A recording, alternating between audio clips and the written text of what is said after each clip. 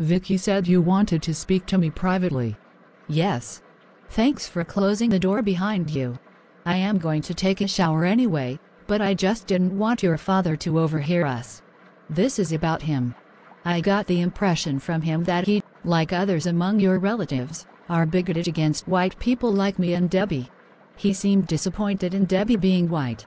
And I still remember when I first met Scott and I called him my cousin and he said I wasn't his cousin at all. That hurt me. It's a natural reaction. Just don't take it personally. Your grandfather just needs to get used to us. At my wedding to Jessica, I was surrounded by white people and I was the only black person there. I was so tempted to run away in fear. But when I looked into Jessica's eyes, I saw only the most beautiful love I had ever experienced. And my fear faded away. I felt more human with her than I did with my blood relatives after I came out as lesbian. So how should I address you? As grandfather? As Mr. Gordon? Or something else? Thank you for asking. And I really don't care how I am addressed as long as I am treated with respect. Were you raised a Jehovah's Witness? I was raised Catholic. And like Lucy I was rejected by my family when I said I didn't believe in the Catholic teachings. No.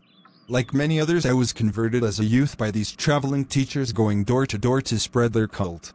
My mother became a witness, and I eagerly followed her.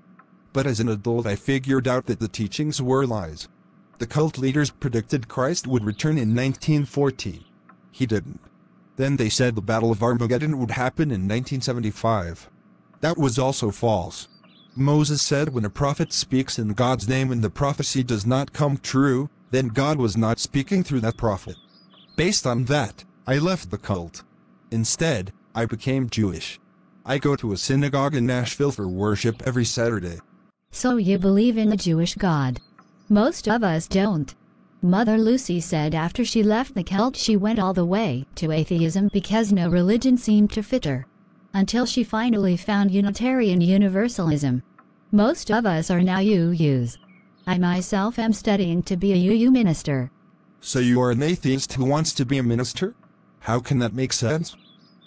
I want to help people, regardless of their beliefs, or lack thereof. You don't need to believe in a God to love your fellow human beings. And I became a UU because of Vicky and her family. They are incredibly beautiful people and I love them all. Before I met Vicky, I felt like I couldn't relate to anyone. But she showed me what love can do to a fearful and broken heart. She made me a better person. I understand. The Jewish community I joined also made me a better person than being a witness did. We can cut your birthday cake into 10 pieces, one for each person that is here, plus Debbie, in case she returns soon and wants a piece.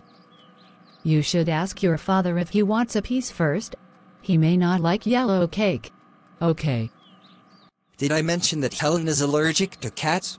Tara would come home from working at the cat shelter and Helen would start sneezing up a storm when Tara would pick her up afterwards. We were so disappointed by that discovery. But finally for our daughter's health we sold the cat shelter. I just hope the new owner is as dedicated to the welfare of cats as our mother was. So what are you doing now? For now, Tara is a housewife. I make plenty of money as a banker, so I won't push her to get a job anytime soon. Her focus is totally on Helen. She is a great mother. Meanwhile, Carrie left her cell phone in the Sims living room. It rings and Vicky answers it. Hello, Vicky Sims here.